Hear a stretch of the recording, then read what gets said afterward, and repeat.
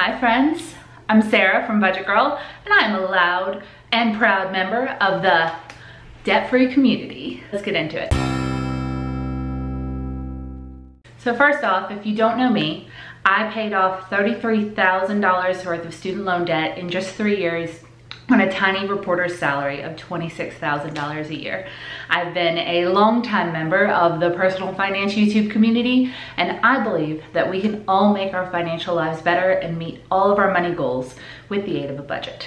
If that sounds like something that you would like to be a part of or learn more about, I'd love it if you hit that subscribe button and like this video because today we're doing the debt-free community tag and I'm coming at you from my office, which has never before been seen on YouTube. I uh, finally decided to make it a space where I could film uh, on a budget, of course. The only things that I didn't already own, these are just, I had this desk. This painting was $20 from Ross. The salt lamp was five bucks and that fiddle leaf fig was eight bucks. So, and I made that painting, so frugal office tour complete.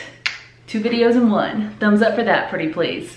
So let's jump in to the debt-free community tag. I was tagged by Kelly from Freedom in a Budget, the originator of this tag, and I was so thrilled to do that. So let's jump into her questions.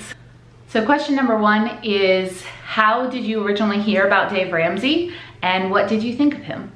So I heard about Dave Ramsey back when I was in college, racking up that student loan debt, from my aunt and my uncle who were familiar with his plan and I believe were using it to kind of pay off their house and the roof and everything, which they've all done since. But at the time, I didn't read the book. I just kind of overheard a little about the plan and I figured, like most people figure when they're going to college, that I'll just take out the loans and then when I graduate, I'll have the money to pay them off.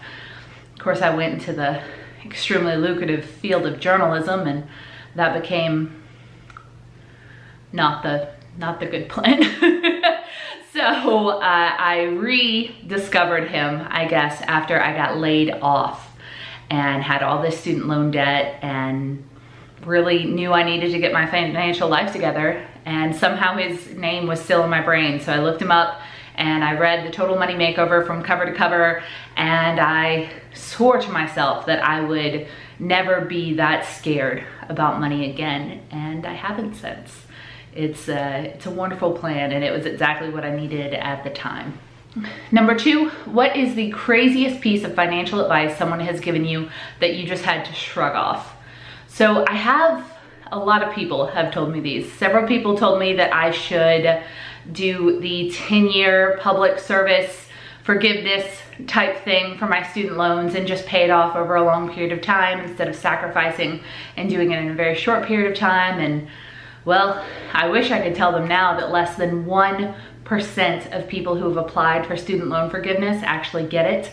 It's not being paid out, especially not as promised. And a lot of people who were paying on that monthly minimum for 10 years now still have their full balances to pay. And it's such a tragedy, but I personally, I'm so glad that I didn't do that and that so many people here in the debt-free community are not about that and that they are just trying to get it out of that debt out of there so that they never have to think about it again. Certainly not give away minimum payments for a decade of their life in the hopes that that might be forgiven. Number three is what is the hardest place you had to give up shopping and or eating at? So back when I was trying to get out of debt, I had a little bit of a shopping addiction going into it and I knew this about myself. I would just go bargain hunting. I would go shopping just for fun. It, like if I had some spare time and a couple of dollars in my wallet, I would just go and spend money. I didn't pay attention to if I needed the things or if they would enhance my life. I just spent because they were a good deal and I couldn't resist things on clearance. So generally everywhere, like Target clearance was hard to give up, dirt cheap if you've never heard of that store might be a southern chain but it's like kind of scratch and dent type items and you have to go and it's it's a treasure hunt. And I bought so much stuff there that I, of course I no longer have anymore. None of it matched. It was ridiculous. Uh, fortunately in the latter half of my debt payoff I moved to a tiny town in Arkansas where the only store was Walmart and that was never an issue with me avoiding that So not saying I'm better than Walmart, just saying wasn't an issue. I didn't like need that cute stuff.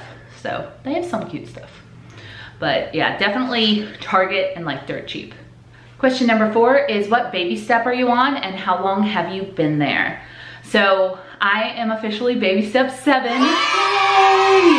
And I haven't been there for very long actually. It took me a little time after finishing my fully funded emergency fund to do all the investing research and actually figure out where I wanted to put the rest of my 15% towards retirement.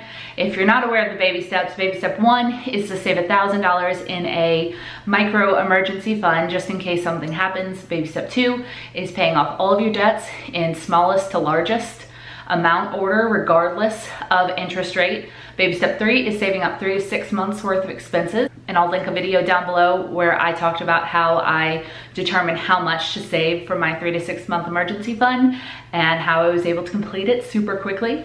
And then baby step four is to up your retirement contributions to 15% because I have a teacher's retirement savings through my work.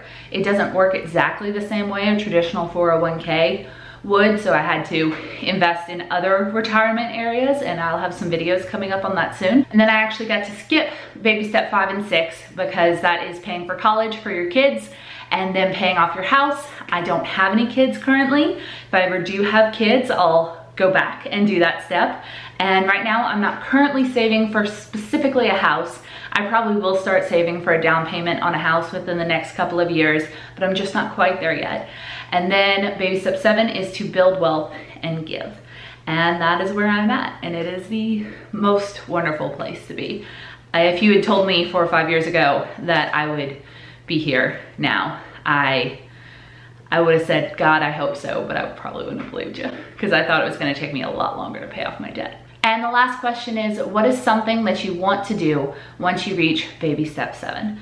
So there are a lot of things that I wanna do in baby step seven. One of them is travel, and I haven't quite had the opportunity to do that yet. I had several weddings over this past year and a half or so since I've been debt free, and I needed to travel for those. And I also had a um, professional conference I needed to use my vacation days for. So even though I can afford to travel right now, I don't have the vacation days for it. So I'm working on that. Um, but I also want to just look for more opportunities to give to people around me. I recently started kind of a Brighten People's Days fund in my budget and it gives me the opportunity to look out for ways that I could improve the lives of people around me and things that I hear of. So one of the things I recently was able to contribute to was a friend of a friend of a friend has a child who needs a helmet for medical reasons. And she just put something out on Facebook saying that this child really needs it and they couldn't afford it.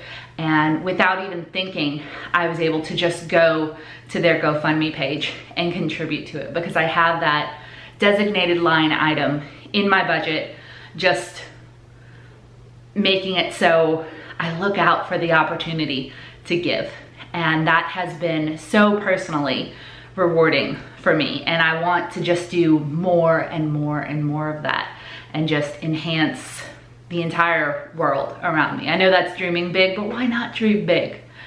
I just want to help people around me and I I'm so grateful that I'm in a position that I can do that now. So those are all the questions in the debt-free community tag. That was really fun. Thank you so much for Kelly for tagging me. And Angela our, from Our Life on a Budget also tagged me in this. So thank you for giving me the opportunity to do that, friends. I will list all the questions below. If you would like to pick up the tag, I would love to hear from you, as well as the tags of everyone that I can find that has done this so far. I'm also specifically tagging Jen from the Budget Bounce and Justine from Debt Free Millennials. I'll link their channels below to do this because I wanna see your answers. Also, for all of you who don't have a channel, I would still love to hear your answers to this, especially the last one. I wanna hear from all of you guys, what do you wanna do in baby step seven? What will be rewarding for you personally, professionally, financially? Let me hear it because I love to live vicariously through you guys and I also love to get ideas. It's my favorite thing about this community.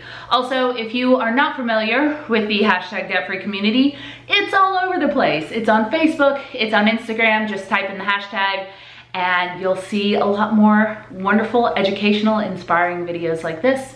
And I hope it encourages you to better your financial life. If you like this video, please like it and subscribe if you're not a part of the Budget Girl channel. I have a lot of cool stuff coming up and I wouldn't want you to miss it. I'll see you guys next time.